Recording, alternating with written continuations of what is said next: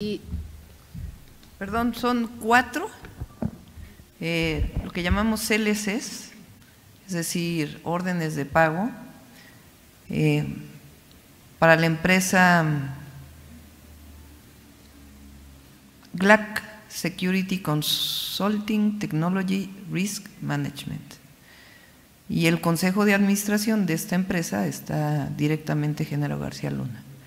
Eh, los órdenes de pago van del 2016 y la última en diciembre del 2017, con lo que entonces era la Procuraduría General de Justicia de la Ciudad de México.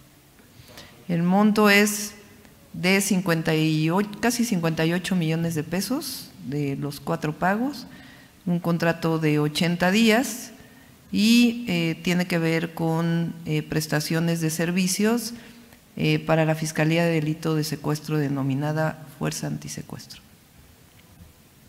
prestaciones de servicios no especifica de qué tipo, doctora. El- Dice prestación de servicios, no sé si las cuatro eh, son en este sentido, pero los servicios principales son prestación de servicios de diagnóstico integral de capacidades de la Fiscalía Especial de Investigación en delito antisecuestro, imagínense nomás.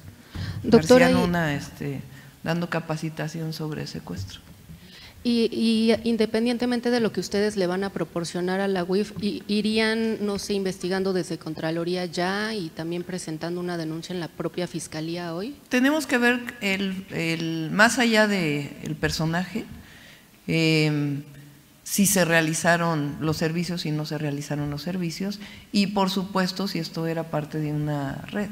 Y estamos y seguimos investigando algunos otros contratos que pudiera haber habido.